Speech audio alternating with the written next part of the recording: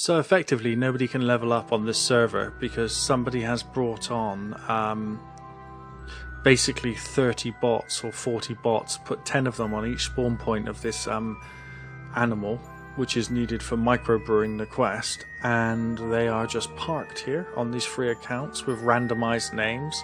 So you can see of them, there's 10 on each spawn point, and they kill the creature and they're using a bot because it's acting not like a person. It kills everything within 0.2 of a second. So not only are they multi-botting, but they blocked the entire server and anybody from progressing any further in the game. These accounts need to be banned, and the free play accounts need to be banned in total if people are going to use them against a system like this. They're multi. That per, that's one person's computer running 20, uh, running 30 of the accounts for this game. I found a way to beat them. So you stand here and you wait and you wait and you wait and you wait, and all you have to do is tap it. Now, if I'm stood right on the spawn point, I can see it before the bot knows it's there.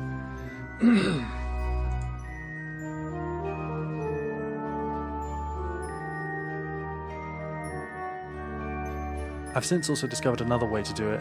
That is to join the um, fate that's going on, lower your level, and chase the core pups down into the village. That will also help resolve the issue. I didn't know this at the time, but that was a piece of advice somebody gave to me.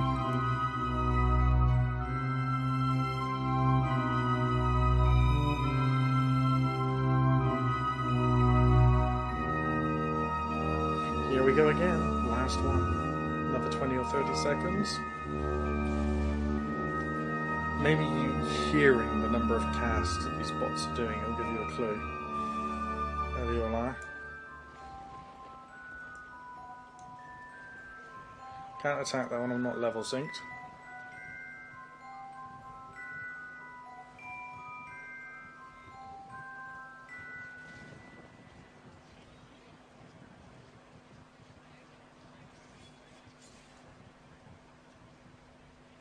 I want the one that appears right here.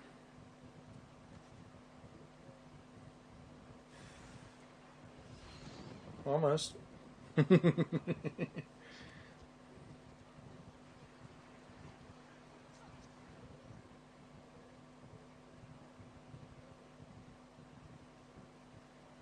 God, this is a boring way to play a game. Standing waiting on a 50-50 chance to get something. Mine. See?